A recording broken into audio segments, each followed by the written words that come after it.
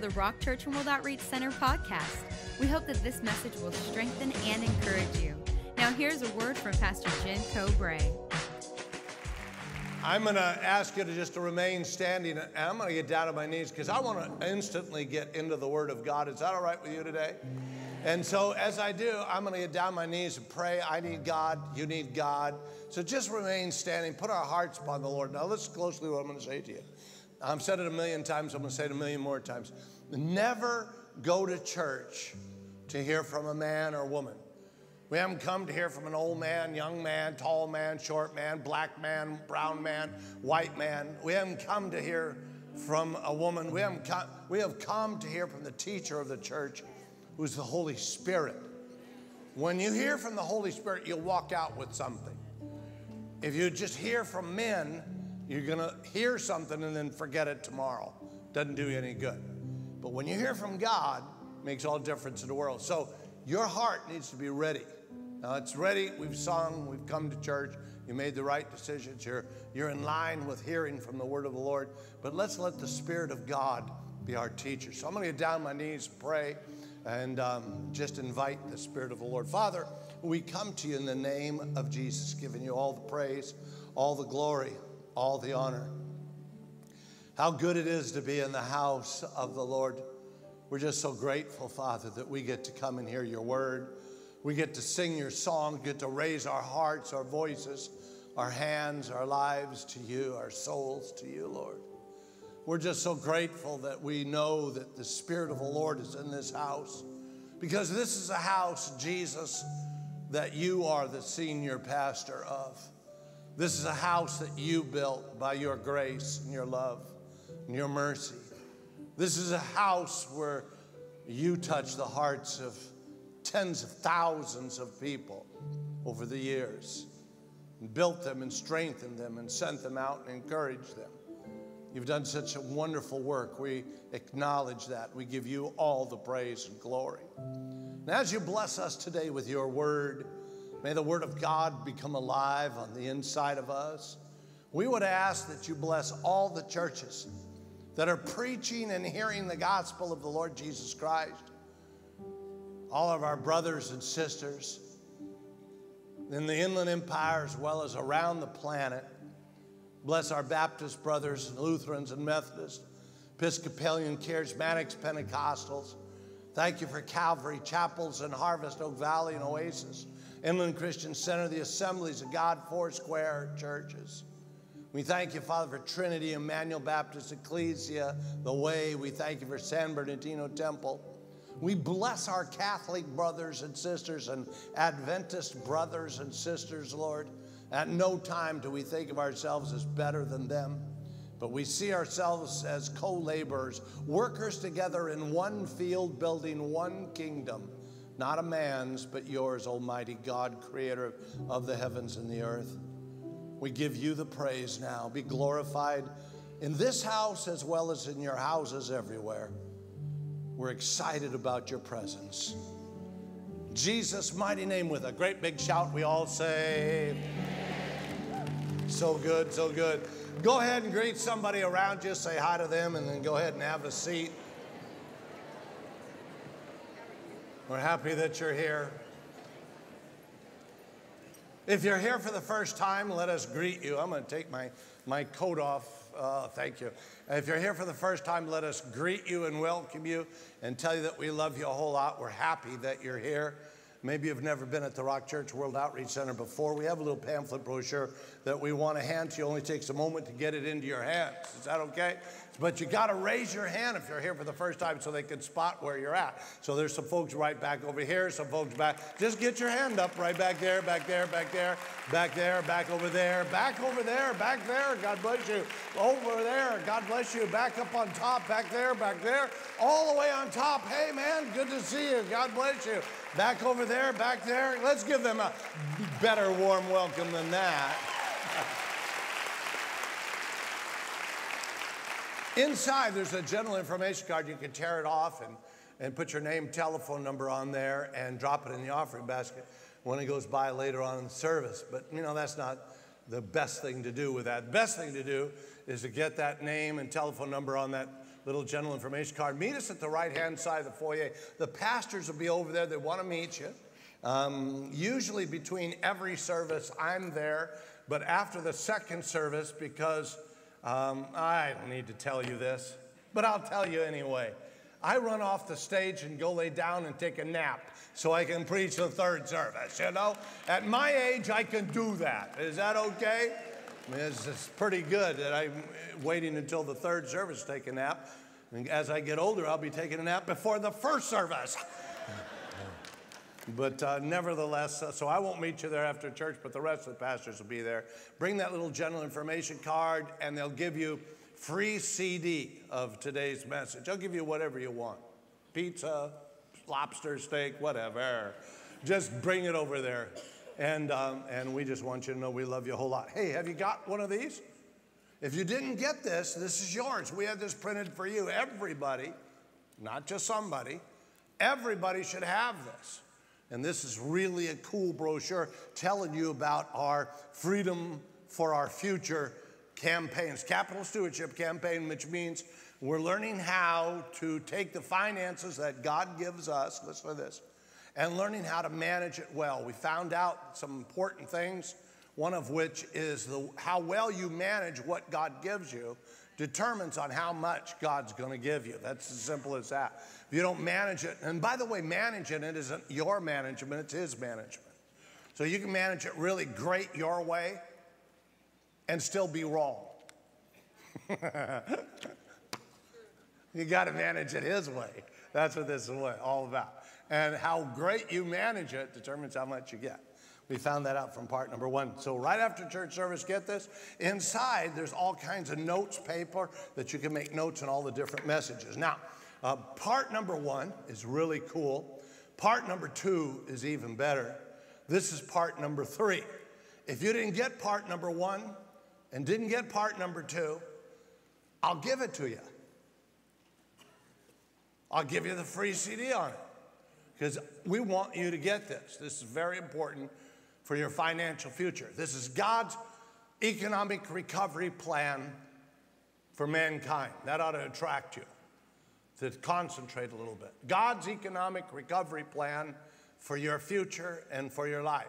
We're looking at what the Word of God has to say, the priorities of the Word of God. Remember this before we get into today's message. There was such a priority of over 2,350 times God speaks about finances in the Old Testament New Testament. That's amazing that many times. So God must obviously care about it. When love, which is so important, is only spoken of 650 times. So here we're going to be looking at the word of the Lord. It's very, very important for us to see it. Let me just take you a moment to review just for a few moments, then we'll get into the word of God. I'm only taking it to maybe seven verses today. So it's really kind of cool. I'll explain the seven verses.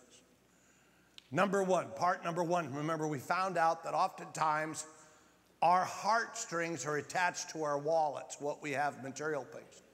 When in fact, God gives us everything. God cannot allow the fact that your God becomes your money. In fact, he makes it very clear that you cannot serve God and mammon. You can't serve two gods. Makes it very clear. The word mammon means financial contributions that God has given you. God's given you everything. God has everything. Everything you have, you got from God and you cannot serve the stuff. Stop thinking about how much control money has. It tells us when we go, where we go, how we go, it tells us what kind of vacation we're on. It tells us what you can eat, what you can't eat. I mean, it's a, it, according to the scripture, it is a God that controls us. And God doesn't want that which is in your wallet or your bank account control you. Wants He wants to control you. And therefore, He gives you outlines on how to break free and how to be free in their financial uh, situations for the future. So it's very important for us because he makes a very clear statement. Remember in part number one, where your heart is, is that's where your treasure is. Where your treasure is, that's where your heart's at. So whatever you put an importance on is what this is really all about. Are you, are you following me? We found out also that people have a tendency to give God the bottom of the dredge, whatever's left over. Just like the children of Israel, we saw that in Malachi, first chapter. You remember that? They came, they gave the broken, the sick, the lame sheep in their offerings. They didn't give the very best.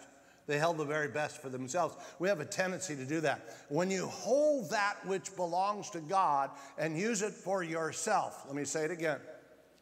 When you hold that which belongs to God and use it for yourself, one more time. When you hold that which belongs to God and use it for yourself, the Bible said, part number two, that it's robbery, that you personally are robbing from God. And then the Bible said you curse yourself with a curse. Wow, that's shocking. Nobody can curse you because you're blessed by the Spirit of God. But you can curse yourself by doing the wrong things. Doing the wrong things, ending up at the wrong place, ending up at the wrong place, ends up bad decisions. Bad decisions end up cursed in whatever you're doing. So nobody can curse you, but you curse yourself by doing the wrong things. You follow me. Found that out in part number two. But God says something fascinating in part number two. He says, Test me, try me. It's the only place in the Bible, the only place that I can find, maybe you can find something else, but I can't find anything where God says to humans, Humans, you now can test me. The creator of the heavens and the earth can now be tested by God in the area of their tithe and their offerings. The word tithe means 10%, doesn't mean just giving. That means whatever God gives you, you set aside 10% and give it back to God for the building of the kingdom of God. Offering means you, whatever it is, it's over and above your tithe. And it belongs in the storehouse, belongs in the Word of God, it belongs in the house of God, that there might always be nourishment for God's people in the house of God. That's the right way of placing it. Whether you like it or not, that's what God says, and that's the way it is. This is not about you do what you want because you feel this is the right way. It's not about our feelings. It's about what God says and us being obedient to what God says, even though our feelings and our ideologies and philosophies want to take us some other place other than where God wants us to be. And that's called obedience. And so we find ourselves oftentimes not being very obedient. When God says, Test me, see if I won't do something. And He says three things I mean, God could have said, just do what I tell you to do. I'm God, creator of the heavens and the earth. If you don't, I'm going to have a giant wave come over the wall and crush you. But he doesn't. He doesn't say that at all. What God says, listen, test me, put me to the test, see if I won't return to you in such a way. Number one, the first promise he says, I'll open up the windows of heaven and pour out such a blessing you won't be able to handle it. I mean, that is amazing, such a blessing. Second thing he promises to us, he says, I'll rebuke the devourer for your sake. They will not come in and rebuke that which you have done. They will not take from you what you have. Sometimes people live like they have, they get their paycheck, and their paycheck's in a bag with holes in it. And before they even get that bag home, it's gone. And guess what? That's a cursing in yourself. That's a miserable situation to be in. You don't want to be in that way. God says, I'll rebuke the devourer for your sake. Can I tell you something? I don't care how great a Christian you are. I don't care if you preach the gospel, finish seminary, have a great church, and everything else. You will always be under the pressure of the devil wanting to stop you at every turn of the road. Always. You're always going to have the devourer there. But Jesus said, I've come to give you what? Life and give it out more abundantly. But it doesn't just happen because you're pretty and smart, talented, and gifted. It happens because you are obedient to the things of God. We're learning how to be obedient to the things of God. Third thing he promises is test me. Not only will I open up the windows of heaven and rebuke the devourer for your sake, but guess what? Your blessings will be so obvious that the nations around you will spot you and call you blessed. Oh, wow. In other words, you're going to be so blessed that you won't be hidden. You'll be something that's an example to other people. That's amazing to me. That was in part number two. We had a great time there. Part number three is wild. Someone might say to me, Listen, Pastor, I hear what you say, but I'm a real logical person. How's all of that going to happen? How is it going to work? It doesn't make sense to me. Here's how. I want to answer that for you and show it to you today. How it's going to work. Anybody ever wondered how it's going to work? How does giving God the finances that he requests from us to put to work in the ministry, how in the world does it return more finances back to me? That like doesn't make sense. And I, before I do anything, I'm a real logical person. I got to know how it's going to work. Here's how it's going to work. Are you ready? Miracle. When you take the word miracle out of God, you have no God. God is a God of miracle in anything, listen to this, that you can figure out how it works will never be a miracle. And God wants to work a miracle on your part. God wants to take a nothing, make something out of it. God wants to take that dead, make it alive. He's a miracle working God. God raises the dead, opens the blind eyes. God's a great and mighty God. He's a creator of the heavens and the earth. And when He speaks, the atmospheres come to life and the planets start to exist. Why? Because He is a miracle working God. And so many people want to take this miracle working God and put him in a box of logic human logic, not even godly logic, human logic doesn't work. So I'm to read you a story. I'm going to read seven verses in this story to you out of Second Kings. Go there with me. These seven verses I'm going to read, and then I'm going to come back and I'm going to explain what's going on so that you can understand. Please keep in mind this. Would you do that? That everything in the Old Testament is examples in the natural of what spiritually God wants to do in the New Testament. We look at the failures of the people in the Old Testament so we don't fail today. Why? Because we have a tendency to do the same things they did. We look at the success of the people in the Old Testament and know that, wow, they were successful doing that. We can do that too and be successful. So God tells us a lot by looking at the scripture. Now, my assumption, this is a great assumption, is that you believe the Word of God. If you don't believe the Word of God, you might as well get up right now and leave and go find some screwed up church that won't teach you the Word of God. But I believe the Word of God is the infallible, inspired Word of God that's been around for thousands of years. And my assumption, if you're here listening to me, you're believing that that's what God said. That settles it. That's the way it is. It may, let me, let me give it to you in San Bernardino language. It may not be, listen to this, it may not fit with your feelings, but it is what God says and it's right. Is anybody listening? so let's talk. Verse number one. I'm going to read it to you, come back and explain to you. A certain woman of the wives of the son of the prophets cried out to Elisha, saying, Your servant, my husband, is dead. And you know that the servant feared, your servant feared the Lord, and the creditor is coming to take my two sons to be slaves. Verse number two. So Elisha said to her, What shall I do for you? Tell me, what do you have in your house? And she said, Your maidservant has nothing in the house but a jar of oil. Verse number three. Then he said, Go borrow vessels from everywhere, from all of your neighbors. Empty the vessels and do not gather just a few. Verse number four. And when they had come in, you shall shut the door behind you and your sons, and then pour it into all of the vessels and set aside the full ones. Verse number five. And so when she from uh, so when she went from him and shut the door behind her and her sons, who brought her the vessels to her, she poured it out. Verse number six. And it came to pass that when the vessels were full, she said to her son, Bring me another vessel. And he said to her, There is not another vessel. So the oil ceased. And she came to the man of God, and he said, Go and sell the oil and pay your debt, and you and your sons will live on the rest. Now, these seven verses are here for a reason. Because they talk, listen to this, about you and they talk about me. And from her life, we can learn something about ourselves, about our God, about our activities, about our answers, about our way.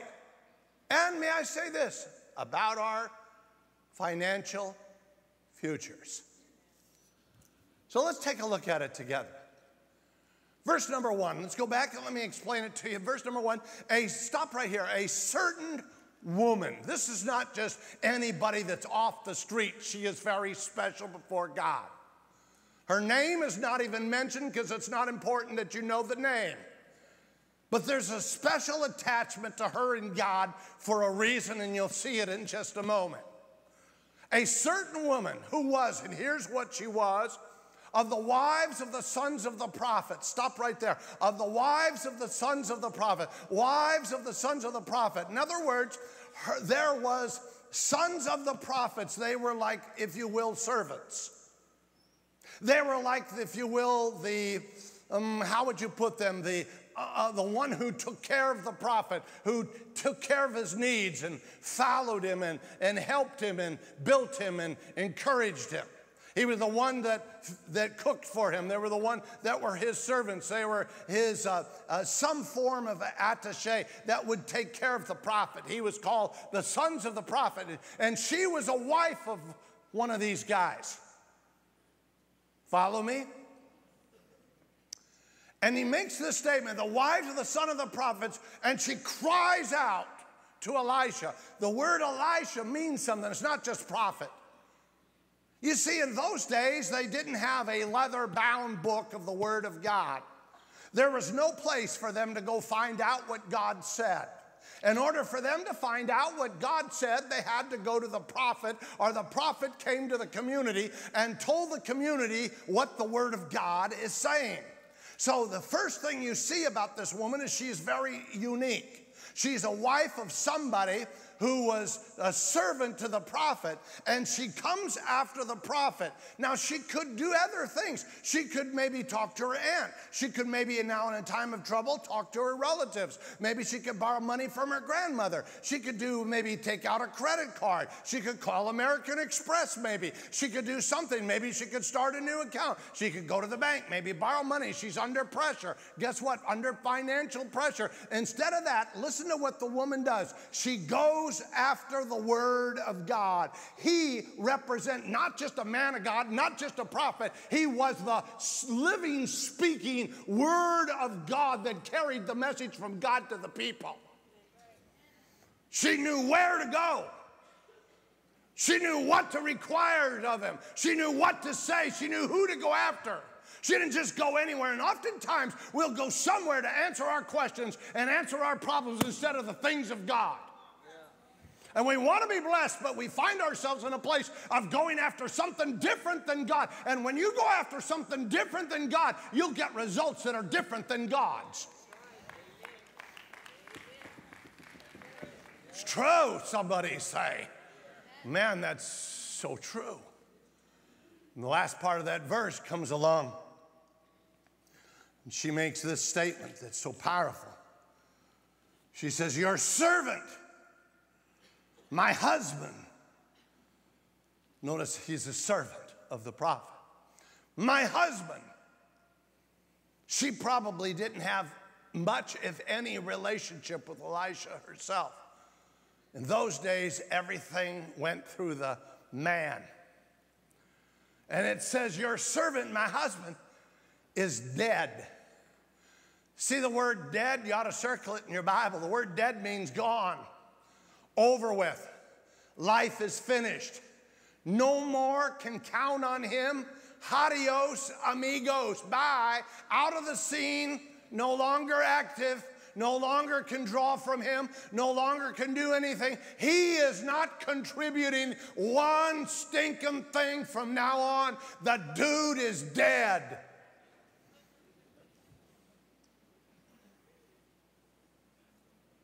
And she goes on to say to the Word of God, to this man of God who speaks the Word of God, this prophet of God, you know, he knows something. That your servant, notice this next word, feared the Lord. Can I tell you something? When God says someone feared the Lord, did they just partially fear the Lord? Did they just have a lukewarm relationship with God? Did they kind of do their own thing and then a little bit of God's thing? And, you know, they had occasional relationship with God? Or do you believe that when God said the man feared the Lord, That means in every area of his life, he was committed. He was committed to the servant, he was committed to the man of God, he was committed to the word of God. Don't think for a moment he didn't bring his tithe and his offering into the temple, because if he didn't bring his tithe and offering into the temple, he couldn't work for the man of God. He would be an abomination to the man of God. The man of God couldn't have that. He needed to hear clearly from God, and he couldn't have somebody work for him and be close to him. That was an abomination to God, or he would never hear the voice of the Lord. It was very important that this man feared the Lord. He did everything as clearly and as precise as was spoken in the Word of God. So when she makes that statement, she's saying something about her dead husband. You know, he was a man of God in every area. And then she says, and the creditor is coming to take my two sons to be as slaves. If you have debt, you have children, your children go into bondage until the debt's paid off. How many years? Could be a lot of years. How horrible. I would think that probably one of the worst things a mom could ever have in her life is have her children in bondage in some form of slavery, incarcerated from freedom. How horrible. She goes with this problem to the man of God. The man of God makes a statement. In verse number two, let's see what he says. So Elisha said to her, What shall I do for you? Tell me. In other words, he What shall I do? She obviously doesn't answer, so he says, Tell me. What do you have in your house? Isn't it interesting that the actions of the man of God and God is now dependent on what's inside the house. What have you got in your house? See, a lot of times we don't realize how much we have in our houses Got old boats sitting around, got old cars, got old junk uh, motorcycles, got all kinds of stuff. In fact, uh, like last Wednesday night, Pastor Paul said, this is the only country in the world that has storage units. And one of our favorite television shows is, you know it, Storage Wars. I saw one where a guy in Victorville bought a $400 storage Inside was an old Triumph motorcycles, and it was Elvis Presley's. Talk about cool.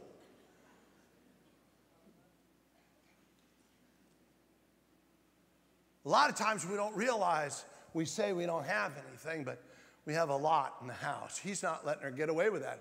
What have you got in the house? And she says, Well, your maid service. Let's stop right there. Maid servant means, listen, I'm a woman.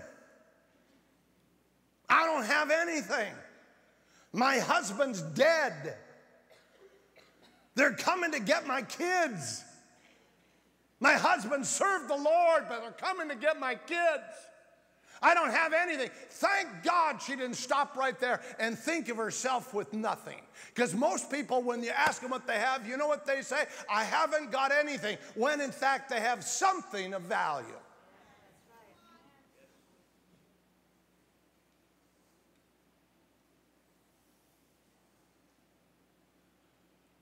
And then she says, I have nothing in the house but a jar of oil. Jar of oil. The only value this woman had. Isn't it interesting? She didn't say she had a lot. She didn't say she had some other things. You know, she didn't say, "Well, I've got a flat screen, I've got this, I've got that, I've got uh, couches, I've got, I've got this, I, you know, I've got all these kinds of cookings." Uh, no, I, I, I, I just have a jar. In other words, God takes it to the very minimum. In our thinking, this woman really does have nothing. What's a jar of oil? Fascinating. Prophet of God speaks. In verse number three Let's check it out. And then he said, Go borrow vessels from everywhere, from all the neighbors, empty vessels. Do not gather just a few. He warns her, Go borrow vessels from everywhere. I want you to know something. So oftentimes, when God tells you to do something, it's embarrassing. It's not comfortable. It's certainly not easy. Oh, we'll do it if it's easy. We'll do it if it's in our schedule. We'll do it if we can understand it. We, we, will do it if it, uh, you know, it's rational. We'll do it if we can figure it out. But here God says to her, What have you got? She says, A jar of oil. And he says, I want you to go to all your neighbors, and I don't want you just to borrow a few. I want you to get a whole bunch of vessels, uh, get as many as you can, get a lot of them. What would I do if I was in that place? I'd say, Why? Are you lost your mind? What in the world's that got to do with me paying the bills? What's that got to do with my kids being toted off in a couple of hours into slavery for the rest of their life? What in the world's that got to do with it? Anyway, it's embarrassing to go to people and let them know where I feel and where they, I'm at. And this is a horrible thing. I, I, I would question it and I wouldn't do it, and so would you. You know why? Because God oftentimes asks us to do things that don't fit with our logic and is embarrassing to our situation, but that is the very thing that stimulates a miracle. And we miss it. If we can figure it out, it's not a miracle. So when God asks you to do something that's weird, do it. Because it's in that weird thing that God asked you to do that brings about something you don't know how it's going to come about. And it's called a miracle. So she could have easily said, What are you doing, man? You lost your mind. I'm not putting my kids, I'm not going to my neighbors. I already have enough trouble. They're already snoopy enough. They're already asking me all the time about, they're, they're gossiping about me constantly. Now you want me to go to them and do something, borrow from them? Let's see what happens. And he says these words, verse number four. And when you have come in, so she goes out gets these things. And when you have come in, you shall shut the door behind you and your sons. Ever wondered why he wants the door shut behind her? In fact, the next verse says it again. Shutting the door shut out the neighbors that were snooping. You will always have people looking at you, talking about you, criticizing you, judging you, saying you're stupid, saying you're an idiot, trying to get you to uh, be a person they can gossip about. So he says, listen, don't let those kind of negative people in your life shut the door on them. And there's a few of us in here that when God tells us to do something that sounds just flat crazy, we need to shut the door on all the people's opinions that say that you can't do it. It's not going to work. If God said it, it's going to work. So he says, shut the door. Shutting the door, shut them out. And he says, then pour it into all of the vessels. Did you notice that little jar of oil now is called an it? Didn't say pour the jar of oil, he calls the jar of oil it. That's interesting. How many its have we got in our houses? I can't do anything. I don't have anything. I don't know how I'm going to make it. You got a lot of its in those vessels and set aside the full ones. Verse number five. And so she went from him, listen to this, shut the door behind her and her sons, who brought the vessels to her, and she poured it out. Verse 6. Now it came to pass when the vessels were full that she said to her son, Bring me another vessel. And he said to her, There is not another vessel. So the oil stopped, ceased. Don't you wish she had gotten more vessels? Do you think she looked at her boys and said, we should have gotten more vessels. You know she did. You know, the Joneses down the street, they had a couple of big barrels. We didn't take those. We should have taken those. You know, isn't it true that whatever's in your heart that you will do, it's God's heart in the same manner will do for you? In other words, isn't it true from the last time we were together that you call the shots either with a spoon or the shovel? We want shovel results, but we're doing spoon action. Don't you know she wishes she had gotten more vessels? Don't ever sell God short. Watch this. Verse number seven, last verse. Then she came and she told the man of God, and he said, Go and sell the oil and pay your debt, and you and your sons live on the rest. I don't know if you ever thought about this or not, but she takes the value of the oil that's in those vessels and sells it, pays the debt off. The kids are free. Boy, don't you know she had to rejoice. That in itself is a miracle, and that in itself is good enough, but it doesn't stop there. He says to her, You and your sons live on the rest. I don't know if you thought about that. Maybe you're one of those people that say, How long did she live on the rest? As long as she was alive. Didn't say live on the rest for 10 minutes. Didn't say live on the rest for an hour or, you know, until the oil runs out. It says live on the rest. That means as long as I'm alive, the rest is going to be there to help finance me. Are you following that? I mean, we're talking about a family going from poverty into slavery, from slavery immediately to economic recovery, all because there's some players that are magnificent. Let's see if we can learn something. First of all, you got to admit she was pretty obedient. Secondly, you got to admit she goes after the right source, the Word of God. Thirdly, you got to understand when he said to do something that's crazy, she wasn't afraid of it. We're learning that. What a lesson that is. Sure, it's embarrassing, but God would have us to do that. Fourthly, she involved her kids in it.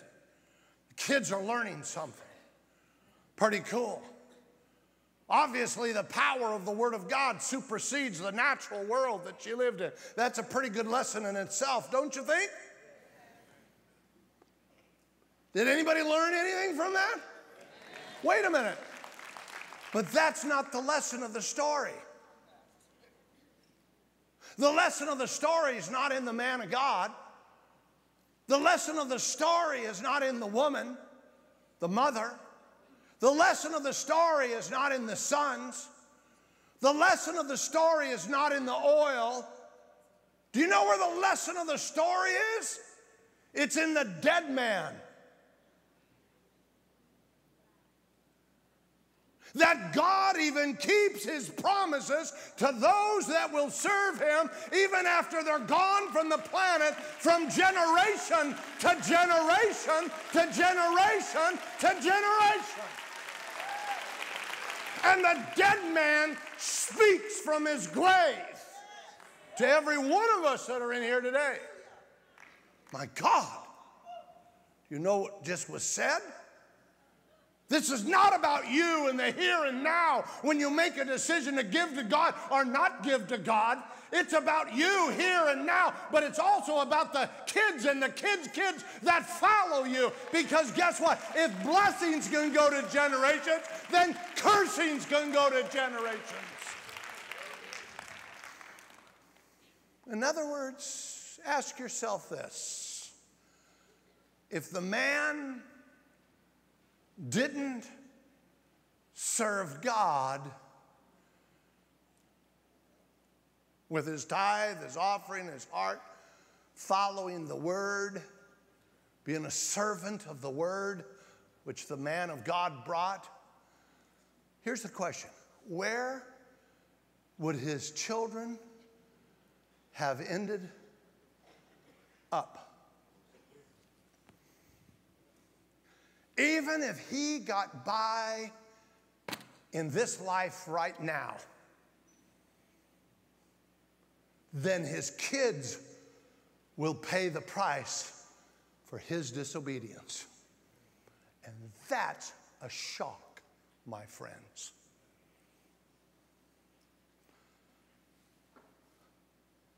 We can play games with God all we want. This is not a game.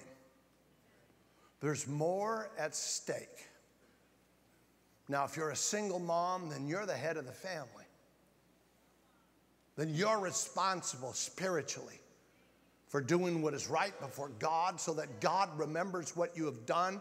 And when your kids are getting ready to get trapped, the Bible says He will do what? Remember that? Rebuke the devourer for your sake. And that's exactly what he has done. This is not just about you today. This is about your kids' kids. Because if blessings can go to my children's children, then cursings can go to my. And he says, You have cursed yourself with a curse. Cursings go to my children's children because I'm disobedient. They, God forgive us, they fail. What you sow, you even after death. Yeah. Is that wild? The proof of that's Jesus. Is that wild? In Deuteronomy, now watch this. 8th chapter, verse 18.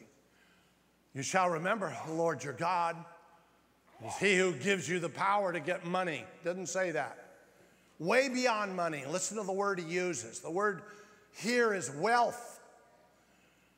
If he was talking about money, that'd be pretty good. I'd like that.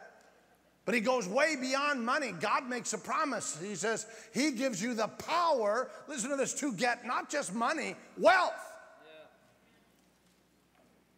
What for? That he may establish. Everybody say establish. establish.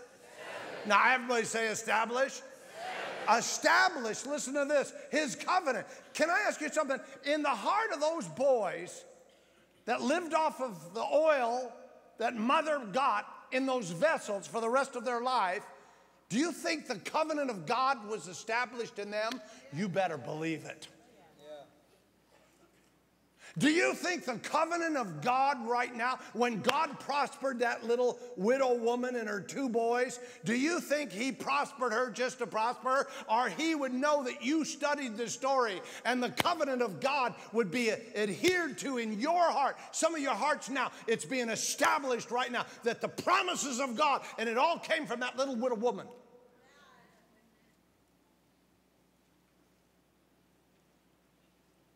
And which he swore to your father's generation. Watch this. As it is to this day. This is all about the future, not just about the here and now. And we have no idea what we're doing, who we're tying up, who we're putting in bondage, who we are destroying because of our faith today. I want you to hear a story. I want you to see it. I'm going to play a video for you, and I want you to see the mom and her child. And I want you to see the difference between someone who's cursed and someone who's blessed. Listen and watch. When Pastor Jim told the church, I remember the service when he made the announcement that we were going to be uh, building a new and bigger church. And they were asking, he was explained about that they were going to be asking for building pledges to fund the construction of the project. When he asked if you wanted to make a pledge to raise your hand to get a card, a pledge card, I and Brian said to me, I want to. And I thought, well, he doesn't understand what he's talking about, so shh, shh. I shushed him down, you know, like shh. And he said, I want to. And before I could actually shush him again, um, the Holy Spirit just quickened my heart. And the message I got, well, it's not your place to determine or decide what he understands. And so I said, okay, you can, I let him take a card. And we talked about it at home later, like I said, and he was excited to give. And after we gave the, when the pledge was due, like I said, and he gave us, gave the pledge. And I just put a little note in there about the fact that he was Down syndrome and he loved the church and this was his pledge. And like I said, it was not a large amount, but I never ever dreamed that, you know, what would happen after that. And Pastor Jim made the announcement um, that we would have a class in our new church when it was built called Brian's class for special needs. I'm thankful that that I didn't shush him again because not just us, but a lot of families, a lot, a lot of would have missed out on the blessing that that class brings to to families. He loves to give an offering, loves giving an offering. When his grandmother sent him a five dollar bill and a birthday card, and he does like money, so he was excited. Oh, wow, this has really made his made his day.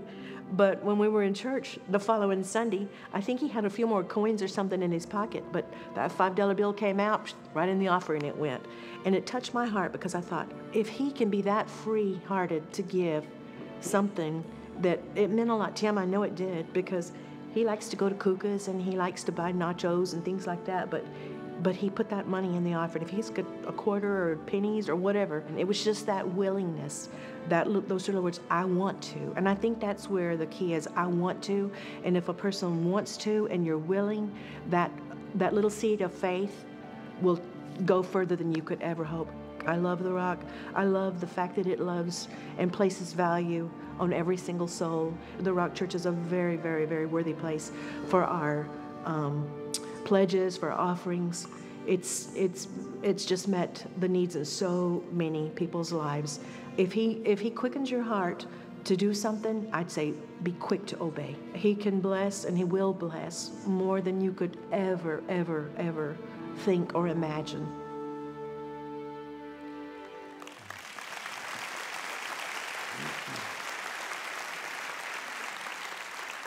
For generations to come that family will be blessed. In case you didn't know it, Chris said that he didn't give very much. Let me tell you the truth. He gave the largest gift I have ever received in 35 years of ministry. It wasn't in the amount, it was in the heart that changed our church. And I will go to my grave remembering Brian's gift that made this church and makes it what it is the sacrifice of someone. Don't think for a moment God hasn't seen that. Don't think for a moment that God isn't just standing by ready to do a miracle. Don't think for a moment that God will forget you. Even the dead, He remembers their works. I want to make sure everybody's all right with God before you go. I'll let you go in just a moment. Nothing could be worse in your life than coming in the house of God, hearing a message like you just heard. It stunned you. It's so stunning. Did you notice how quiet you all were? Stunning is what it is.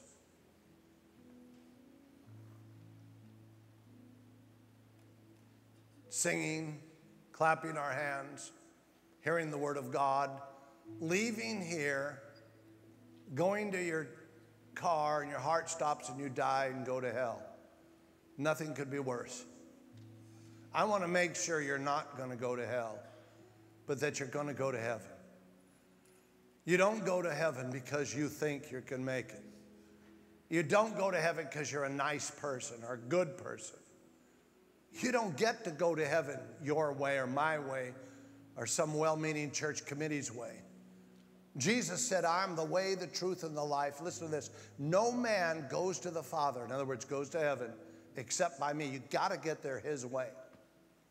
And he tells us exactly how to get to heaven. Your mom and dad can't pronounce you a Christian, make you a Christian, and you go to heaven. Have you christened or baptized as a baby? You get to go to heaven. No way. It's not in the Bible. You can't join a church makes you a Christian. You can't go to seminary and preach for 100 years and now you're a Christian. No. It's all about the heart. Jesus said it like this You must be born again. When I say those words to American churches, born again, most people don't understand what I mean. They don't like the words born again, but born again is simple. It means you've given God all of your heart, it means you've given God all of your life. You see, it's an all or nothing relationship with Jesus Christ. It always has been, always will be. All or nothing. Last book in the Bible, Jesus said these words I'm coming again, and you know He is. And He says, And when I come, I better find you hot or I better find you cold, because if I find you lukewarm, I'll, I'll vomit you from my mouth. That's what Jesus said. What did He really just say is that lukewarm people that call themselves Christians are not real Christians at all, and they're going to get vomited from the mouth of Jesus. I don't want you to miss this. Lukewarm, what's it mean? A little in, a little out. Let's define lukewarm a little up, a little down. Token prayer, occasional church attendance. God is something in your life, but He's not everything. That's lukewarm. How about this? You're not against God, but you're not wholehearted for God. That's lukewarm. You know a lot of people that way that call themselves Christians that are not going to make it. Today is your day of salvation. God brought you here for a reason. That's what this is all about.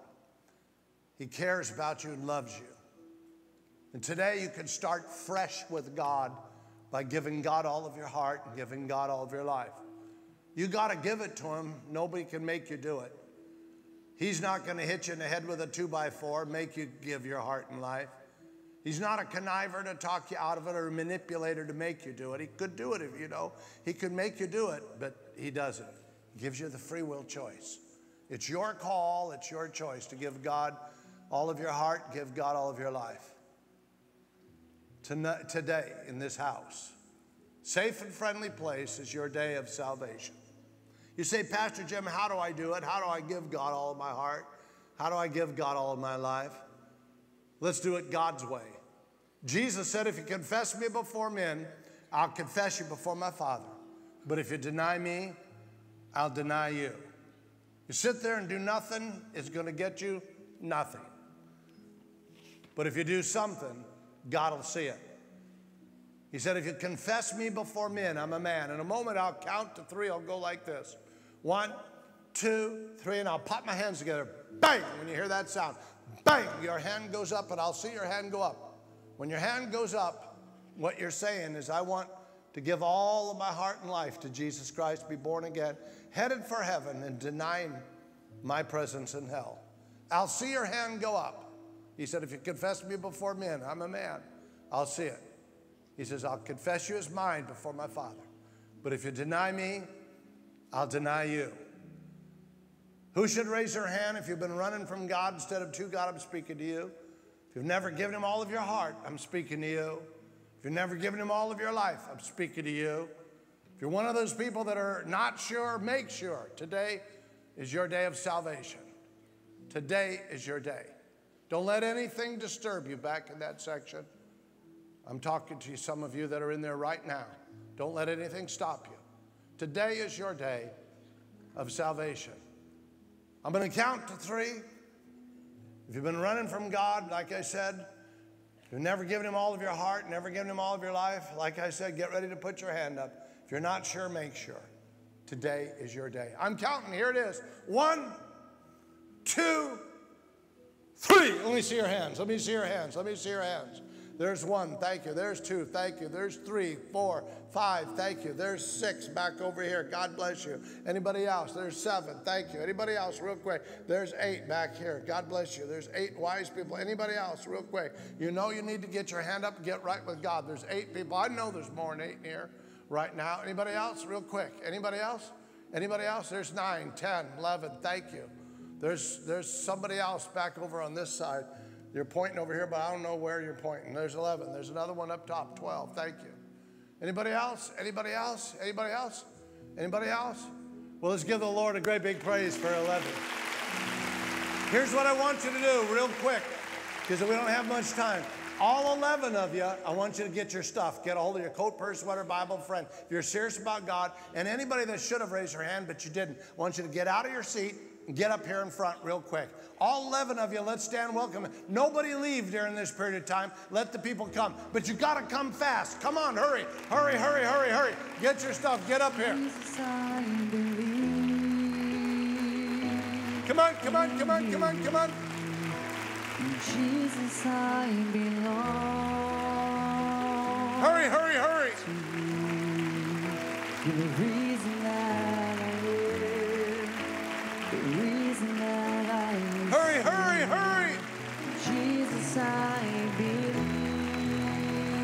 they're coming. Give them a hand as they come. Hurry, come on. Jesus, I. Oh, they're coming. Give them a hand as they come. They're still coming. They're still coming. You come too. Come on, hurry. The reason that I sing. Jesus, I believe. Thank God, thank God, thank God you guys have come. Real quick, I want you to look to your left. See this guy waving at you? His name is Pastor Joel. He's going to pray with you, give you some free stuff about what to do next, and then tell you about a program we have called Spiritual Personal Trainers. Only takes a few moments of your time. The people you came with, they'll wait for you. Make a left turn, follow Joel right over there. Come on, let's give the Lord a great big praise.